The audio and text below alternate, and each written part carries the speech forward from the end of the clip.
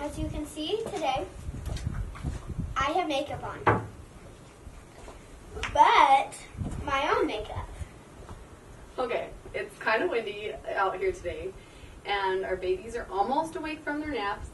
So we're just going to show you passing and some fundamental passing and some drills I like to do with passing. you know, you know how um, we were showing you the drills like this. So right here to here and hit the backboard. Land. You can pass and do that. Yeah, but we're just going to work on fundamental passing. So what I teach is a passing a ball is like shooting a ball. So we start with there's two-handed pass and a one-handed pass. And so we're going to start. Devin, will you scoot back a little bit? And all we're going to do is we're going to shoot it. So I'm going to get with Devin and I'm going to shoot the ball just like I hold it with shooting and I'm going to push and shoot and follow through. Good. The guide hand. Yep. And so we're gonna work that shooting. Good. And we want again backspin like on our shot, and we'll work with our left hand and our right hand. So, and as you can tell, I'm stepping with my left foot when I shoot right-handed, and my right I foot step- when I shoot left-handed. Okay. The other key to passing is catching. And when we catch a basketball, Catch like this, like a volleyball. show 'em, turn your hands. Yeah. So we're gonna Catch catch, like a with our hands. volleyball. and our Volleyball's up pointed. here like that. Yeah, we'll do volleyball in a few weeks. So we're going to catch with our thumbs pointed towards each other. We don't want them down, it makes it hard. We don't want them up, it makes them hard to catch. So just like the shape of the ball. Most kids try to catch like this when they're No. little, and it it does make it easier to an extent of you have more body to pull it into. But catching with your hands, your thumbs should point to each other. Right hand, left hand. So that is the one handed pass. Can you go back over there? I'm this one. Yes. Um, and then what we're going to do is we're going to do a two-handed pass. So when I do a two-handed pass, I hold the ball the same way I catch, my hands on either side, and my thumbs pointed towards each other, and I'm going to flip and point my thumbs down. And thumbs go down as I pass out. So my hands, my the back of my hands point I to each other. it. So how you catch it, and then you're just going to push and put your thumbs down. Thumbs point to the ground. No, no, thumb, your thumbs are going up. Thumbs down. Rotate your hands. That's pretty good. So that's a two-handed chest pass. So now I do with when we do this in um, practice or in camps. Then I like to you scoot back. Once we do a chest pass, we'll start a one-handed bounce pass, and so I'm going to step with my opposite and create space. Oh, back there, and then I'm going to bounce past it about midway so that chump comes up to her chest. And we do that with our right hand, and we do that with our left hand, uh, working around around people. Good. So we step opposite to create space. That's our dog.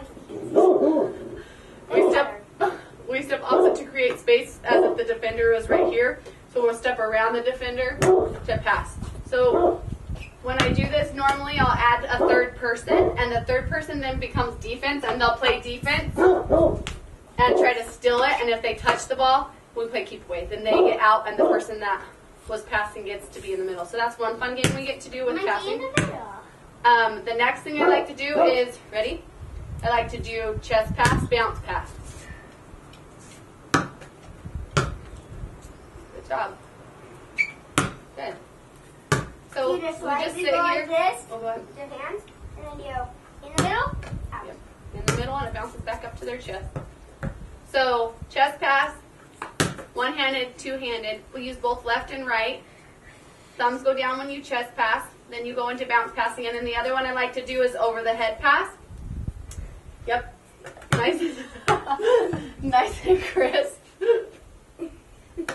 Now can you do it to me? Good. Now step when you come closer to mom, and when you throw it, step.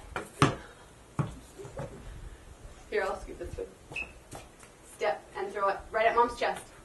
Whoa! it was a Tracker. Tracker, are you okay? Are you looking? Are we? So we use that a lot of the time when I have to turn and go all the way up the main court. Is that chest pass or over the head pass? Step. Good. Good shot. And so I do drills, um, layup drills with these. And But so, guess what? If it feels like it's gonna go to your a- chest, then look, this is. Oh, she steps back. A full court, I, on a full court, I would toss like this. Turn and send it to the person down the court, trying to go one dribble to the uh, layup. Want to try it? I'm going to pass it to you, and I want you to dribble and do a layup right here. Ready? Now dribble and do your layup. Okay, now you. Ooh, now you do it. Go throw it at the. Go throw it at the backboard. Catch it. Throw it to mom. Whoa. Whoa. Ready? Go. Go. Catch it and go.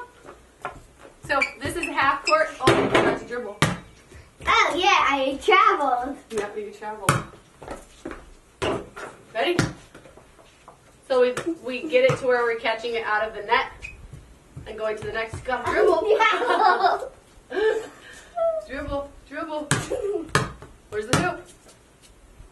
Miss! Alright, so that's basic passing. We'll do passing back and forth, like I said, keep away passing drills here. The other thing I like to do is with Go over there. with three people is work on my pivot to pass here. Ready? I'm gonna get you to shoot from there. So I would work on my person on the block and I would work on pivoting, pivoting, stepping, and passing in and then they'd make work their post move. Oh. oh. They'd work their post move to get in. So those are some of the passing drills I like to do. See if I can write this. And then I No. would just pass and do my shooting drills too and that's the basics of passing in basketball. I'm strong. Right. you have anything else to say? Um, have fun. It's all a little bit of fun. It's all a little bit of fun. And fun is exercising!